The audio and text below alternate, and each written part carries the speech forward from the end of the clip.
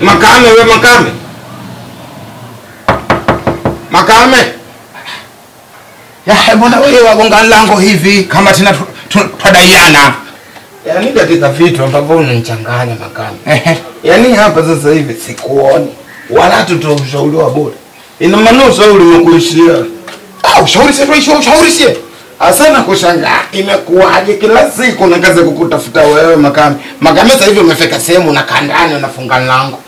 Bwana wewe, kama wataka tunishauri mtu sema. Kwa hiyo leo tunashauri nani? Ah, sisi tunashauri hata mwanasiasa yake. Kama tunashauri mwanasiasa basi tumshauri, lakini mwanasiasa Sisi hapa hatuishiwi watu wa kuwashauri yake, twende tukamshauri mwanasiasa hapa. Lakini hapa ndo maana nilikuwa natafuta mpenda wewe.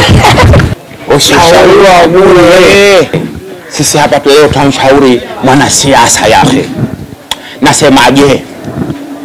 Wewe hapo tulia, usirudi jimboni sasa hivi. Sasa hivi sio muda wa kuongea na wapiga kura zako. Wewe endelea kula bata, zunguka kwenye miji mikubwa ya hii nchi yake. Ikitakapokaribia pale, nakwambiaje, itakapokaribia uchaguzi yake, basi rudi ukaongee na wapiga kura wako. Asa vile vile nakupa ushauri wa bure wewe mwanasiasa. Achana na vitu vya ajabu. Yaani mtu analalamika yeye elimu ake imepanda bei, sijui nini kimepanda bei, nini akakwambia wewe ukaniseme. Achana naye, wewe fanya mambo ya msingi nyumbani kwako siku napikwa. Achana na kudili na vitu vyovyote, achana naye. uenda ndo ushauri wa bure. Yahe, narudi tena hapo.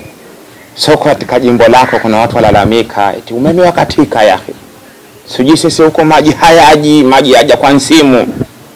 Tulia, kwako wewe maji yatoka. Mheshimiwa wewe umeme kwako wakatika. Tulia, kula maisha. na vile vile nakupatia ile ushauri wa bure mwanasiasa. Eti mtu anakulalamikia wewe, anatembelea V8, anatembelea Prado, anatembelea nini, achana kuacha na hivyo vitu, endesha V8 hiyo mpaka muda uishe, maana ikifika miaka mitano, yani huo ndio ushauri wa bure mnaokupa. Piga bata, kula burudani, huo ndio ushauri wa bure, achana nao. Narudi tena hapo Makame, nasemaje? Watu wakulalamikia jimboni kwako, wewe sisi huko matibabu pia shida. Yahe mheshimiwa, kwani wewe watibiwa hapa? Achana nao, alafu rudi zako wewe watibia India wewe. Tulia, kula maisha, wenye watajijua. Alafu vile vile, yani wewe kweli mheshimiwa, unatoa mwanafunzi mmoja unamlipia ada, tafuta vitu vya ajabu ajabu, yaani fanya vitu vya ajabu ajabu, ikiwezekana hata nyumbani kwako piga pevingi, weka pevingi pale, weka kila kitu, achana na habari za kutengeneza barabara. Unatengeneza barabara wakati wewe mwenyewe jimboni kwako na kama mara mbili mara tatu mara nne kwa mwezi, unahangaika kutengeneza barabara, yani wewe mwanasiasa. Hivi wewe migogoro ya ardhi migogoro ya nyumba na nyumba namba sijui kila kitu. Ya na kuhusu nini? Yahe, achana nao.